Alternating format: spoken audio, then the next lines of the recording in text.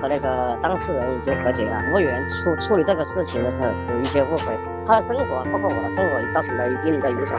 那个网暴，服务员可能有些说话嘛哈，说的不好听，做事翻来翻去的，他就是处理不对，而且他想法也没有那么多，他是道过歉的，可能不是那么官方那么正式。我们可能有些地方做的不对嘛，以后肯定会注意到的。